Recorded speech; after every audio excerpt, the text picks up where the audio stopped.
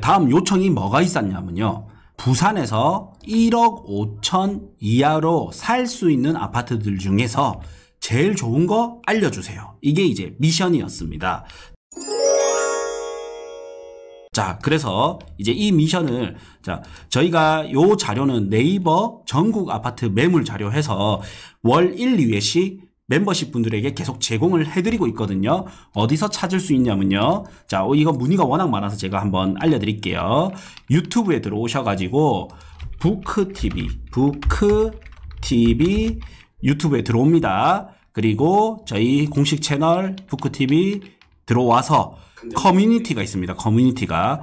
커뮤니티에 들어오면 저희 스태프분이나 어, 저도 꾸준히 올리고 있는데 여기 보시면 회원 전용해서 매번 매물을 올려드리고 있습니다. 회원 전용해서 매물, 매번 매물을 올려드리고 있으니까 여기 링크 통해서 다운을 받으시고 비밀번호를 풀어서 이 자료를 보시면 됩니다. 이걸 다운받으면 이제 이렇게 자료가 나오거든요. 그러면 1차 수정해서 나오고 2차 수정해서 나옵니다.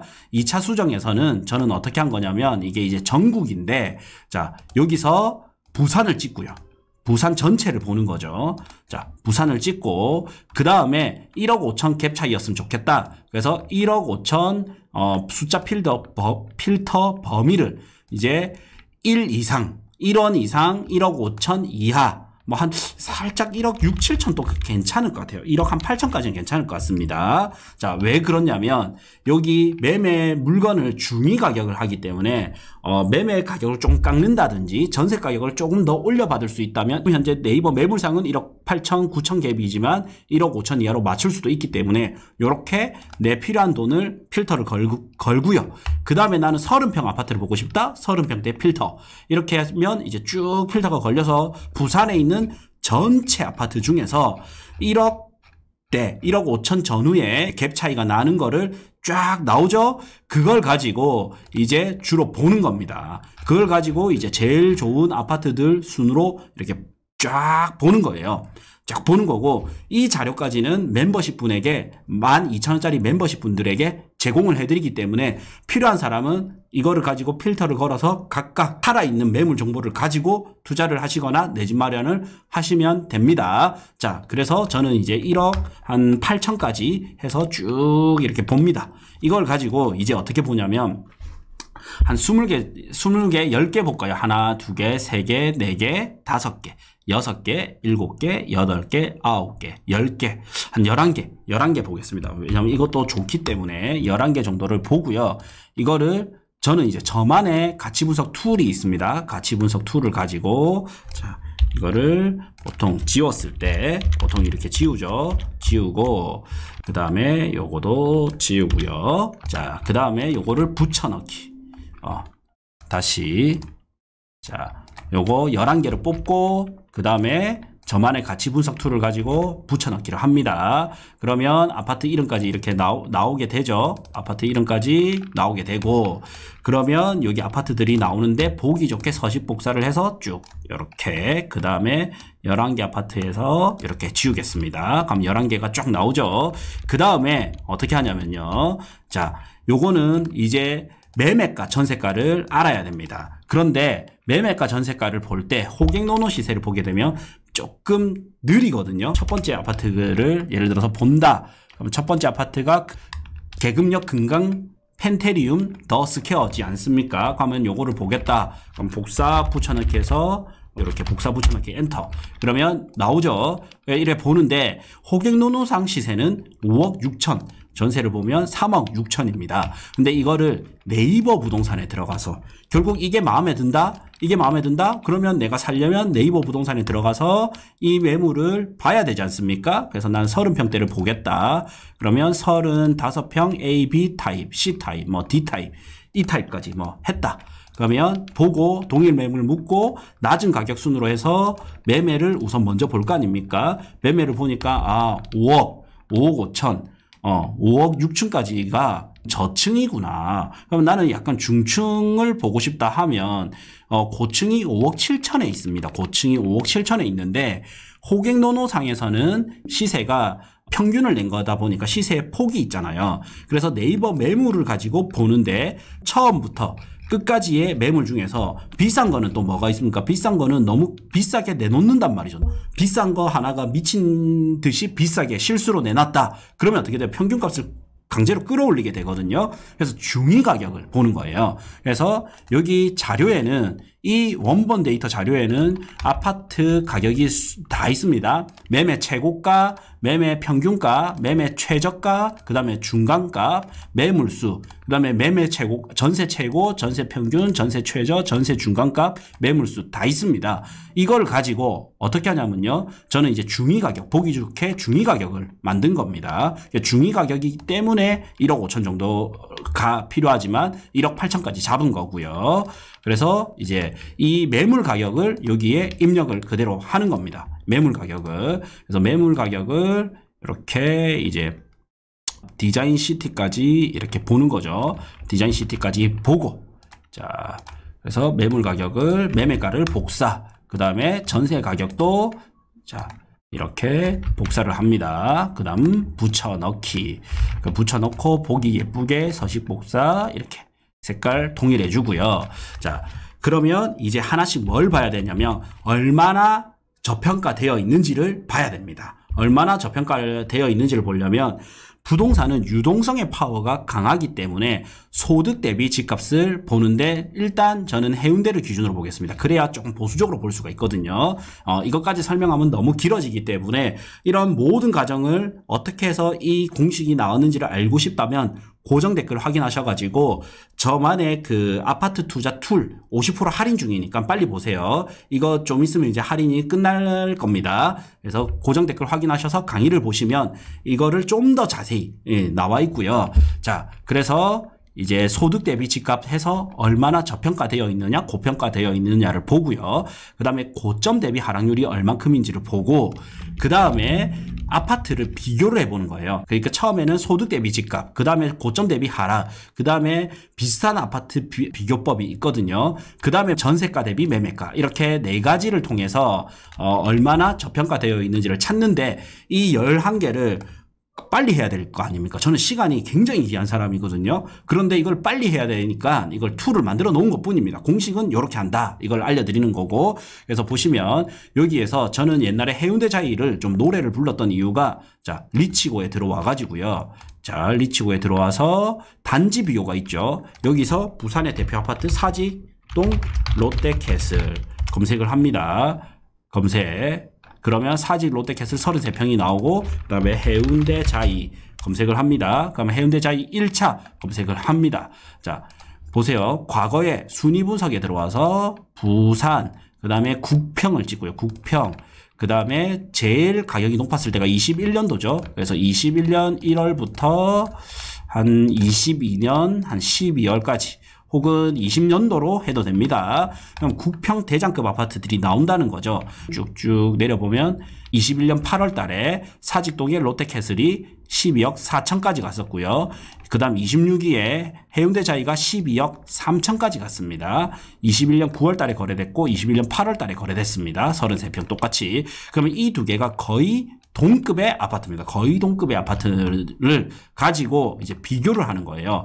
비교를 하니까 전체를 봤을 때는 요 빨간색이 뭐냐면 빨간색이 오른쪽 시세입니다. 그러니까 해운대 자이예요. 빨간색 오른쪽 시세 해운대 자이. 그다음 파란색이 뭐냐면 사직 롯데캐슬 왼쪽 이니까 사직 롯데캐슬입니다. 이걸 가지고 보니까 사직 롯데와 해운대 자이가 자 해운대 자이가 원래 높았다가 그 다음 이제 사직 롯데가 거의 따라왔다가 어 그 다음에 최고가 한 개는 어, 사직 롯데가 조금 더 높았지만 여기 리치고에서 알려주는 시세는 평균 시세를 내거든요. 왜냐면 한 건이 거래가 높다고 해서 시세를 안 보는 것 같아요. 그래서 이제 시세를 봤을 때는 해운대 자이가 더 높습니다. 여기 보시면 해운대 자이가 더 높죠. 그리고 상승장 끝 무렵에는 해운대 자이가 더 갔고 사직 롯데가 좀 덜 갔단 말이죠.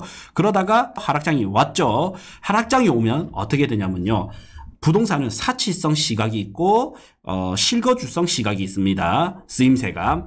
그래서 실거주성 쓰임새가 강한 어, 학군지의 사직 롯데가 탄탄하게 받쳐주고 그다음 반등을 하니까 왼쪽에 있는 사직 롯데 요 파란 선이 먼저 올라가게 됩니다.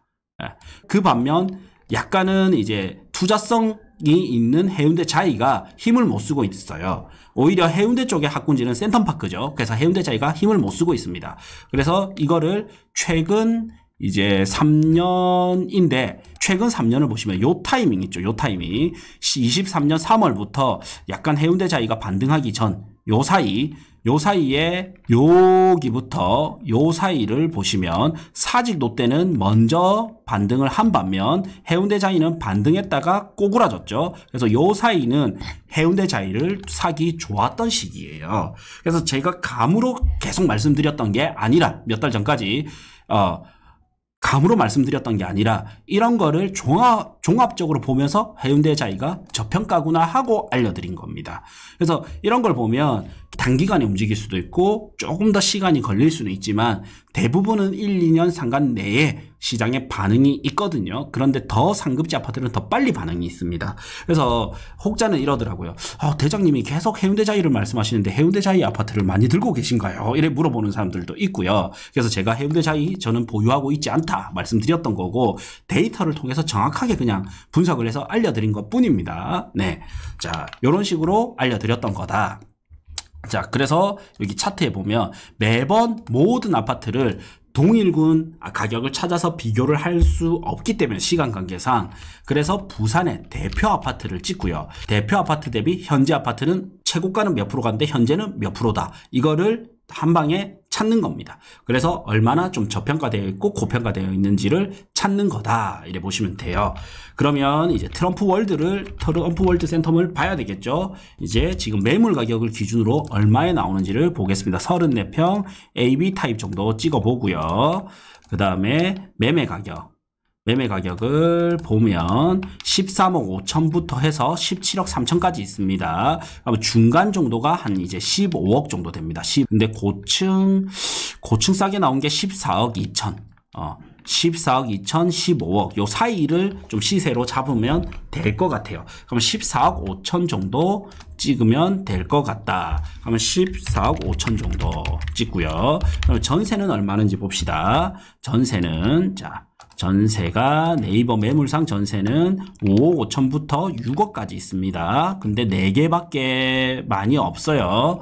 예, 그러면 어, 자, 5억 5천에서 6억이니까 중간 한 5억 8천 정도 하면 될 것 같아요. 5억 8천 정도. 자, 매물은 이렇게 형성이 되어 있다. 이제 1등 아파트를 기준으로 삼아 놓고, 어, 국평 실제 1등은 마린자이, 가 1등을 했지만 표본이 너무 작아서 그 다음 트럼프 월드 센텀을 보는 겁니다. 자, 그 다음에 계급력 금강 펜테리움 더 스퀘어를 봐야 되죠. 금강 펜테리움 더 스퀘어의 최고가를 봅니다. 최고가를 자 금강 펜테리움 더 스퀘어 찍고 이제 최고가 거래 현황 더보기 최고가 그러면 가격 순위 7억 8,500까지 갔었죠. 그러면 7억 8,500이라고 입력을 합니다. 그래서 7억 8,500 이렇게 입력을 하면 자동으로 이제 완성이 돼요. 자, 계급력 금강 펜테리움 더 스퀘어는 7억 8,500이 최고가였고 이거를 역산출해서 적정 가격을 뽑아보면 5억 1,400이 나온다. 계급력 금강 펜테리움 더 스퀘어는 만약에 5억대까지 나오면 좀 반등 가능성이 높다. 그러나 경제 위기급이 조금 와서 빠진다면 한 4억 6천 대까지 빠질 수도 있다. 그래서 내가 이거를 알고 얘를 쳐다보면 어, 이거를 알고 얘를 보면 자 시세를 보겠습니다. 자 시세를 보면 거의 5억대까지 빠졌죠. 거의 5억대까지 빠지고 귀신같이 반등을 하고 있죠. 네. 그래서 약간 일부 반등해서 횡보하고 있지 않습니까? 귀신 같죠? 예. 그래서 만약에 여기가 경제 위기가 오면 더 빠질 거지만 그게 아니라면 이게 거의 바닥 가격에 가깝다. 그래서 귀신같이 들어맞죠? 그리고 지금 6억이다. 그러면 이제 전 고점 대비 하락률 그러니까 7억 8,500 대비 지금 6억은 1억 8,500이 빠진 거고 24% 하락했다. 이래 나옵니다. 그 다음에 트럼프 월드 센텀 대비 계급력 금강 펜테리움 더 스퀘어는 원래 45%까지 갔었는데 지금 41%까지 갔기 때문에 트럼프 월드 센텀 대비 3% 정도 덜 왔다. 이렇게 또 비교를 하는 겁니다. 만약에 얘가 46% 정도 나왔다. 그럼 대장 아파트도 못 가고 있는데 얘가 더 갔네? 그러면 얘는 패스. 이렇게 해야 되는 거예요. 근데 적정하게 덜 왔으니까 어, 장바구니 담아두면 되겠죠. 그 다음에 매매가가 얼마냐면 6억, 전세가가 4억 5천, 전세 가율이 7억 아 75%입니다. 이제 투자 갭 차이가 1억 5천 나고 전고점까지 회복한다 했을 때는 1억 8천 정도 되기 때문에 수익률이 123.3%가 나옵니다. 이렇게 해서 이 툴을 다 구하면 전체 수익률이 나오겠죠. 전체 수익률이 나옵니다. 그 중에 이제 나는 갭 투자 시 수익률이 좋은 거. 그 다음에 내 집 마련이라면 대출을 끼고 사야 되지 않습니까? 그래서